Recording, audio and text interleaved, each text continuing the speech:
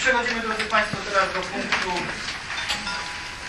najważniejszego dzisiaj, a więc punktu dotyczącego podjęcia uchwały w sprawie zamiaru likwidacji szkoły podstawowej nr 52 oraz włączenia do zespołu szkół ogólnokształcących nr 14, który został przygotowany przez zarząd. Yy, Proszę Mogę Pani, teraz w sprawie merytorycznej, bo projekt uchwały brzmi zamiar likwidacji szkoły podstawowej, a nie włączenia go do zespołu szkół. proszę Pani, yy, meryto- merytorycznie to jest nazwa uchwały, natomiast zamiar likwidacji, natomiast nazwa odnosi się nie do projektu prezydenckiego, ale do projektu naszej uchwały, więc yy, z punktu widzenia formalno-prawnych taka nazwa jest prawidłowa. Więc Ale Państwo debatujecie nad projektem uchwały Pana Prezydenta również, a projekt Pani- uchwały Pana Prezydenta brzmi zamiar likwidacji, a nie włączenia go do Nie, zespołu my szkół. proszę Pani debatujemy nad projektem uchwały, który został przygotowany przez zarząd, a projekt uchwały dotyczy zamiaru likwidacji oraz włączenia do ZSO nr 14. Natomiast- Ale jak można debatować nad... No to jest, Proszę państwa, pani- to jest Państwa wewnętrzna uchwała, oczywiście. Natomiast nie ma zewnętrznej uchwały prezydenta, żeby można było debatować o niej, kiedy tej uchwały jako takiej nie ma. Jest, jest projekt uchwały o likwidacji. Droga Pani, jedna uwaga. Pro projekt porządku obrad wprowadzane przez Radę. Został zaproponowany punkt podjęcia uchwały w sprawie zamiaru likwidacji oraz włączenia do ZSO. Taki też został przegłosowany. To de Rada decyduje, jaki jest punkt w porządku obrad, więc Pani obiekcje mogą mieć tylko i wyłącznie charakter pewnych odczuć do tego projektu porządkowego. Natomiast z punktu widzenia prawnego to Rada decyduje, jaki punkt jest przedmiotem porządku obrad i przedmiotem dyskusji. Tego, tego typu zastrzeżenia nie mają żadnego uzasadnienia. Drodzy Państwo, ale wracając do, do tego punktu dotyczącego właśnie tej, podjęcia tej uchwały, pozwolę sobie, drodzy Państwo, w imieniu zarządu przedstawić y, to stanowisko, tą propozycję, którą my jako zarząd y, przygotowaliśmy w związku z, ze sprawą zamiaru likwidacji szkoły podstawowej nr 52. Ta uchwała, którą przygotowaliśmy, ma dwie części, drodzy Państwo. Pierwsza to jest paragraf pierwszy, doty- zawiera się w stwierdzeniu, że opiniuje się negatywnie zamiar likwidacji szkoły podstawowej nr 52. To jest pierwsza część. Natomiast paragraf drugi brzmi, wnioskuje się o włączenie szkoły podstawowej nr 52 w skład zespołu szkół ogólnokształcących numer 14. Jako, że e, te dwa paragrafy zostały wprowadzone w tej uchwale, radni zaraz zadecydują w głosowaniu, czy zostanie przyjęta w tym brzmieniu uchwała, czy w innym. W związku z tym taki jest tytuł tej uchwały. Tyle tytułem wyjaśnienia odnośnie tytułu. Natomiast, drodzy Państwo, pozwolę sobie omówić dwie części osobno tej uchwały, aczkolwiek one są ze sobą e, mocno, mocno związane. Drodzy Państwo, musimy mieć świadomość tego, że miasto Kraków faktycznie znajduje się w trudnej sytuacji finansowej. I to nie jest tak, że propozycja, pomysł restrukturyzacji, racjonalizacji, no to jest tylko i wyłącznie widzi mi się urzędników, widzi mi się pani prezydent, bo tak naprawdę chodzi o pieniądze nas wszystkich podatników. Stąd też niezbędne jest w tym, w tym zakresie, abyśmy i również władze miasta, aby wszyscy potrafili spojrzeć na ten problem trochę szerzej. Niestety w moim przekonaniu władze miasta nie spojrzały na ten problem szerzej, tak jak należałoby to rozpatrywać. Więc władze miasta tylko i wyłącznie posłużyły się pewnymi wskaźnikami, które zostały opracowane przez specjalistów edu- edukacji z Urzędu Miasta Krakowa i w oparciu o te wskaźniki wytypowano placówki oświatowe, które należy zlikwidować. No i niestety wśród tych placówek znalazła się nasza szkoła, szkoła podstawowa numer 52. I oczywiście, drodzy Państwo, możemy się zastanawiać, czy właściwe wskaźniki, czy niewłaściwe. Natomiast e, bez względu na to, czy one wyczerpują ten katalog, który powinniśmy wziąć pod uwagę, jeżeli chodzi o wskaźniki, to musimy mieć jedno na uwadze. Wszyscy, wy jako radni, Państwo jako rodzice, nauczyciele, dyrektorzy, że jest pewien problem. Bo jednak, jeżeli jest szkoła podstawowa, po drugiej stronie pasa startowego, która ma pełne obłożenie i nie ma takich problemów, jest lepiej kwali- klasyfikowana według tych wskaźników, no to jest, ten, to, jest, to jest jakiś problem, który jest dla nas wszystkich wyzwaniem. Ja nie, ja nie mówię, kto jest winny za ten stan rzeczy. Niemniej dla nas, jako społeczności lokalnej, to jest pewien sygnał, że powinniśmy zrobić jednak więcej, żeby tutaj to, żeby zwiększyć zainteresowanie tą szkołą wśród, y, wśród przyszłych uczniów tej szkoły. Pani dyrektor, ja oddam Pani głos w momencie, kiedy będzie, będzie dyskusja. Także mówię, drodzy Państwo, o tym problemie z tego względu, że y, ten problem wymaga w perspektywie podjęcia przez nas wspólnych działań. Ja jeszcze na końcu o tym problemie powiem. Natomiast no, on pokazuje, pokazuje coś, na co my jako społeczność lokalna powinniśmy zareagować. I my jako radni zdajemy sobie z tego sprawę, że musimy zareagować. Natomiast, drodzy Państwo, no, nie tylko ekonomią y, żyje, żyje miasto, nie tylko ekonomię powinny brać pod uwagę władze, proponując różnego rodzaju rozwiązania, w tym również rozwiązania te dotyczące likwidacji, a więc tak ważne rozwiązania, bo rozwiązania niosące no, konsekwencje dla społeczności lokalnej, trzeba popatrzeć trochę szerzej. Ja odnoszę wrażenie, że pani prezydent i urzędnicy, którzy przygotowywali propozycję likwidacji szkół, no tutaj kierowali się taką zasadą po nas choćby potop.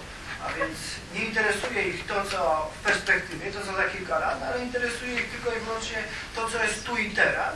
Gdy tymczasem władze samorządowe każdego szczebla odpowiedzialne są nie tylko za zaspokajanie obecnych potrzeb społeczności, którą reprezentują, ale również stworzenie odpowiednich warunków do tego, żeby pewne potrzeby, w tym również potrzeby edukacyjne, były zaspokojane w perspektywie kolejnych lat.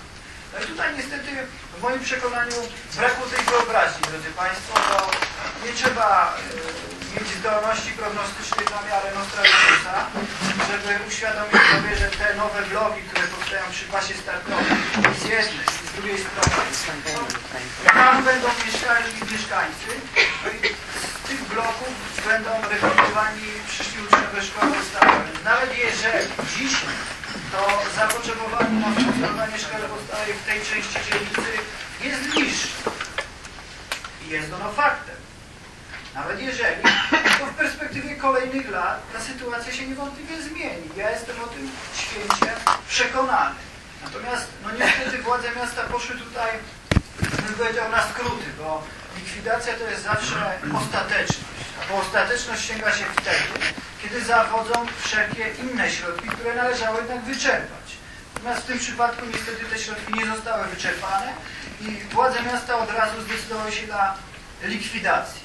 Więc był to skrót, który nas wszystkich może, może naprawdę wiele kosztować. I dlatego też my jako dzielnica dostrzegając te uwarunkowania nie tylko ekonomiczne, a również uwarunkowania społeczne, więc to, że w perspektywie kolejnych lat niewątpliwie to zapotrzebowanie na funkcjonowanie szkoły podstawowej w tej części dzielnicy wzrośnie, opiniujemy plan likwidacji szkoły podstawowej nr 52 negatywnie. Znaczy my jako zarząd, powiem precyzyjniej, żeby nie było wątpliwości co do strony formalnej mojej wypowiedzi, powiem precyzyjniej, że my jako zarząd proponujemy dzisiaj radnym dzielnicy zaopiniować negatywnie zamiar likwidacji szkoły podstawowej nr 52. I tutaj, drodzy Państwo, żeby nie było żadnych wątpliwości, jesteśmy przeciwko, bo uznajemy, że ta szkoła jest tutaj potrzebna. Nawet jeżeli teraz jest to zapotrzebowanie mniejsze, to będzie potrzebna w perspektywie kolejnych lat. I ja nie wyobrażam sobie, że sześcioletnie dziecko pokonywało taką sporą odległość, jaka dzieli dzisiaj 52 od szkoły podstawowej numer 100, bo takie rozwiązanie w moim przekonaniu wymyślić mógł tylko ktoś, kto nie ma wyobraźni, po prostu nie był w naszej dzielnicy, nie widzi tych odległości, nie widzi tych wszystkich niebezpieczeństw, a nie wszystkich rodziców no, stać z różnych przyczyn na to, żeby dziecko odwozić czy odprowadzać do szkoły. Dlatego też ta pierwsza część uchwały mówi o tym, że my jako radni wyrażamy negatywną opinię dla propozycji pani prezydent likwidacji. Ale jest też, drodzy Państwo, druga część tej uchwały. Ja wiem, że ta druga część uchwały może wzbudzać pewne kontrowersje, mniejsze lub większe, niezadowolenie, bo proponujemy tutaj pewne rozwiązanie, które dla nich wszystkich może być e, że tak powiem, zręczne z różnych przyczyn. A więc proponujemy włączenie Szkoły Podstawowej 52 do zespołu szkół ogólnokształcących numer 14. Fakty są dzisiaj, drodzy Państwo, takie, że tak naprawdę ta szkoła, te szkoły już dzisiaj funkcjonują obok siebie w jednym budynku. Przeszkód natury formalno-prawnej, żeby to połączyć w jeden zespół nie ma, bo chociażby w Tarnowie funkcjonuje zespół szkół ogólnokształcących numer 4, w skład którego właśnie wchodzi liceum, gimnazjum i szkoła podstawowa. Natomiast, drodzy Państwo, my jako zarząd przygotowując to rozwiązanie kierowaliśmy się przede wszystkim prawdopodobieństwem uzyskania poparcia takiego rozwiązania u tych, którzy będą decydować do końca stycznia, a więc to prezydent, radni miasta, ale również, drodzy Państwo, i musimy o tym pamiętać, również trzeba brać pod uwagę pewne argumenty merytoryczne, mówię tutaj o argumentach finansowych, które przedstawia miasto. Bo prawda jest taka, że racjonalizacja, co by pod tym pojęciem rozumieć, ale racjonalizacja w sensie zwiększenia zasadności wydatkowania środków publicznych no jest konieczna również w obszarze edukacji. Bo drodzy Państwo, no jeżeli jest placówka, która, która nie ma, która z roku na rok notuje spadek, ale nie ma żadnej perspektywy, że ci uczniowie się pojawią, no to siłą rzeczy wszyscy się co do tego zgodzimy, że jest konieczność, aby no jednak w takim przypadku likwidację przeprowadzić. Oczywiście to nie dotyczy naszej szkoły. Ale zgodzimy się. Dlaczego się zgodzimy? Bo te pieniądze, które idą na finansowanie funkcjonowania tej szkoły, to są pieniądze pochodzące z naszych podatków. Jeżeli ich nie będziemy racjonalnie wydatkować, to braknie na służbę zdrowia, kulturę inne obszary, ważne obszary. Dlatego my również uwzględniamy ten warunek ekonomiczny. Nie zamykamy się na argumenty pani prezydent i urzędników. Bo pani prezydent robi jeden zasadniczy błąd. Kieruje się doktrynerstwem, a więc wymyśliła sobie, że należy zracjonalizować, wyliczyli urzędnicy, które szkoły się charakteryzują i idzie w tym kierunku, żeby to przeprowadzić, bez względu na to, jakie argumenty są podnoszone. My tego błędu nie możemy popełnić, bo nastar wystawimy się na zarzut, który dzisiaj sami stawiamy, więc zarzut doktrynerstwa. Dlatego ja uważam, że musimy się również otworzyć na te argumenty. Tym bardziej, że pewien proces naprawczy, pewne działania wspólnoty lokalnej, wzmacniające pozycję tej szkoły są w najbliższym czasie konieczne.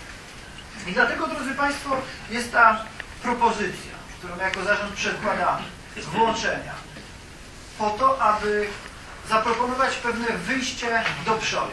Bo jeżeli, drodzy Państwo, my tylko powiemy nie, nie zgadzamy się i nie powiemy, nie zaproponujemy czegoś konstruktywnego, to drodzy Państwo, wierzcie mi, szkoła zostanie zlikwidowana i nikt nie będzie rozmawiał. Rozmawia się dzisiaj tylko z tymi, którzy potrafią coś konstruktywnego zaproponować. Wierzcie mi, drodzy Państwo, jeżeli my powiemy nie, że dzisiaj na przykład radni zadecydują, nie likwidujemy drugi paragraf tej uchwały zniknie, to ja nie mam żadnej wątpliwości, że ta szkoła zostanie zlikwidowana.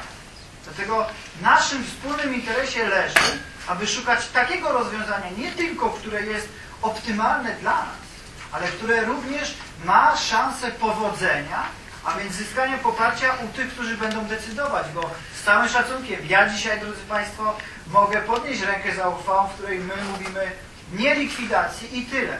I 20 radnych też rękę za tym podniesie, bo wszyscy jesteśmy przeciwko likwidacji. Dlatego, drodzy Państwo, my się rozejdziemy do domu, ale nie, a decyzja nie, nie leży w naszych rękach, bo siądą nad tym radni miasta, pani prezydent, przedstawiciele urzędu i to oni ostatecznie zadecydują, co się ze szkołą stanie. Tak więc możemy oczywiście powiedzieć nie i schować głowę w piasek, ale ja uważam, że nasza odpowiedzialność za przyszłość tej szkoły wymaga od nas, żebyśmy zaproponowali pewne, pewne rozwiązanie. I takie rozwiązanie właśnie proponuję.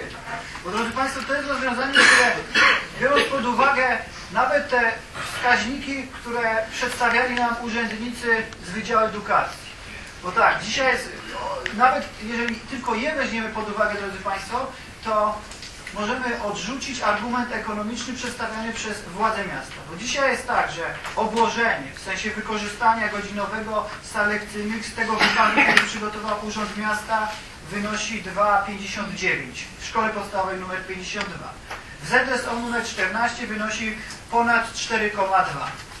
A więc drodzy Państwo, jeżeli nawet uśrednimy, to wtedy wychodzi 3,4, a więc współczynnik w miarę przyzwoity. A więc tutaj same te wyliczenia ekonomiczne, matematyczne pokazują, że takie rozwiązanie jest racjonalne, bo to daje możliwość dyrekcji szkoły zarządzania tymi wszystkimi pomieszczeniami w sposób bardziej elastyczny. I dlatego w sensie ekonomicznym takie rozwiązanie jest uzasadnione i łatwiej nam będzie do niego przekonać tych, którzy ostatecznie o tym zadecydują. A jeżeli dodamy do tego jeszcze dwa fakty. Jeden, że młodzież ZSO numer 16, znajdującego się na osiedlu Niepodległości, też planowanego do likwidacji, ma przejść właśnie do ZSO numer 14. Tam jest liceum i gimnazjum. A jeszcze dodamy do tego to, że powstają nowe bloki, a więc to zapotrzebowanie będzie rosło.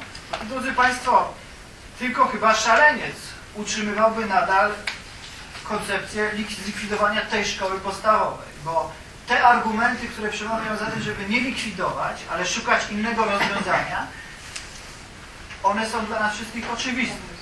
I dlatego, drodzy Państwo, my takie rozwiązanie proponujemy jako zarząd. Ja mam świadomość, że nie wszyscy są z tego rozwiązania zaproponowani. Ja, za, za, przepraszam, zadowoleni. Ja mam tego doskonałą świadomość, drodzy Państwo, tylko ci, którzy e, dzisiaj e, w kolejnych dniach będą mówić, że to jest złe rozwiązanie, że tylko bronimy szkoły podstawowej 52, e, oni, jeżeli Państwo pracujecie takie stanowisko, że tylko blokujemy likwidację, ale nie proponujemy nic zamian, to za kilka tygodni będziecie do tych ludzi przychodzić i będziecie ich przekonywać i będziecie ich prosili o wyjaśnienia, dlaczego tak się stało. A stało się tak dlatego, drodzy Państwo, że schowaliśmy w pewnym sensie głowę w piasek i nie otwarliśmy się na argumenty strony przeciwnej. Nie było dialogu, bo pani prezydent robi błąd ten, że nie ma dialogu. Proponuje pewne rozwiązanie, natomiast nie jest otwarta na argumenty drugiej strony. My uważamy, że trzeba się otworzyć na argumenty drugiej strony i takie rozwiązanie, drodzy Państwo, proponujemy. Tym bardziej, że dobro tej szkoły jest naszym wspólnym dobrem. I te wskaźniki, o których mówię, te problemy, które te zestawienia przygotowane przez Rząd Miasta pokazały, to jest tak, tak naprawdę wyzwanie dla nas wszystkich. Dla nas radnych, dla rodziców, dla nauczycieli, dla dyrekcji. To w naszym interesie jest zrobić krok w tym kierunku, aby poprawić funkcjonowanie tej szkoły. Nie mówię poprawić w sensie, że funkcjonuje źle, tylko mówię poprawić w sensie, że nigdy nie jest tak dobrze, by nie mogło być lepiej. Dlatego uważam, że my musimy wspólnie zastanowić się nad tym, co dalej zrobić, żeby uchronić tą szkołę przed planami, które na przestrzeni kolejnych lat mogą się pojawić, bo nawet jeżeli dzisiaj my uchronimy tą szkołę przed likwidacją, to przecież nie jest wykluczone, że za kilka lat problem do nas wróci. A mówię o tym też, drodzy Państwo, dlatego, że e, chciałbym i tutaj przede wszystkim przy tej okazji dziękuję Państwu jako rodzicom, jako nauczycielom za to, że Państwo jesteście aktywni, w tym bardzo aktywni w sprawie likwidacji szkoły, no bo to jest jednak bez tej aktywności, bez tego oporu, no często jest tak, że nie ma dyskusji. Jeżeli ktoś nie stawia oporu, no to ten, który przedstawia pewną decyzję uważa, że zyskał akceptację. Państwa opór spowodował to, że pani prezydent, urzędnicy radni no widzą, że tutaj nie ma akceptacji. I ja dodam, drodzy Państwo, że też my jako radni y, działamy już w tym kierunku, aby no jednak uchronić 52 przed likwidacją. To rozwiązanie, które zaraz będzie zaproponowane, też w tych rozmowach się przewija. A ja, drodzy Państwo, na moją prośbę poseł Ireneusz się rozmawiał na ten temat z prezydentem w poniedziałek miasta Krakowa przedstawił mu argumenty. Prezydent ze zrozumieniem przyjął te argumenty. Jaka będzie ostateczna decyzja, nie wiadomo. Natomiast pani dyrektor Dziekan rozmawiała z panią prezydent Okońską, wyraziła gotowość e, włączenia 52 w zespół szkół ogólnokształcących numer 14.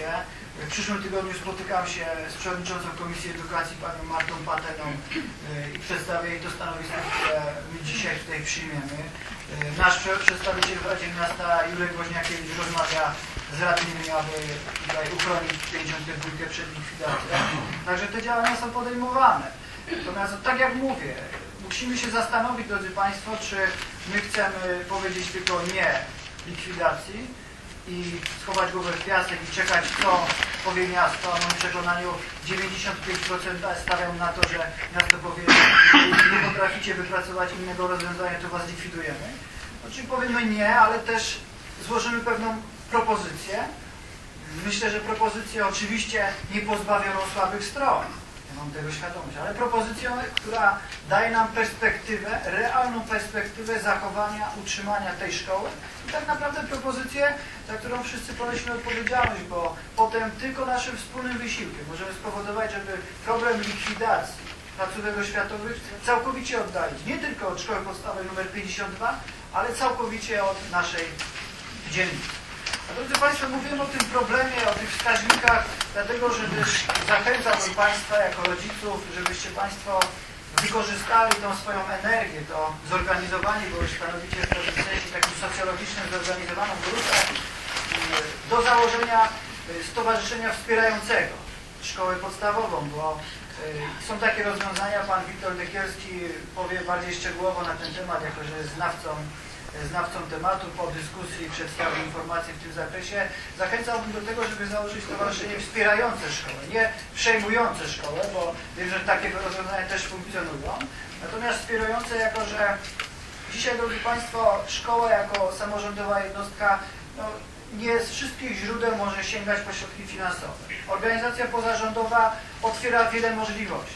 Jeżeli taka organizacja by powstała, Stowarzyszenie Wspierające Szkoły, to my jako radni jesteśmy jak najbardziej otwarci na to, żeby wspierać funkcjonowanie takiego stowarzyszenia i za jego pośrednictwem również szkołę. Bo szkołę wspieramy na ile możemy, natomiast no, często jest tak, że y, przydałaby się jeszcze jakaś organizacja szerzej działająca. Dzisiaj to jest trend dosyć powszechny. Wiele placówek oświatowych właśnie powołuje tego typu organizacje, stowarzyszenia, aby pewne środki finansowe, których nie może pozyskiwać jednostka publiczna, mogły pozyskiwać organizacje właśnie trzeciego sektora. Dlatego do tego, drodzy Państwo, zachęcam. Będzie jeszcze okazja o tym, żeby na ten temat porozmawiać. Pan Wiktor Dekielski przedstawi informacje, ale to dopiero po zakończeniu dyskusji, na koniec dyskusji. Natomiast, drodzy Państwo, tyle z mojej strony. Państwa radnych proszę o poparcie tej uchwały. My otwieramy dyskusję i Państwo, zapraszam Państwa do zabierania głosu.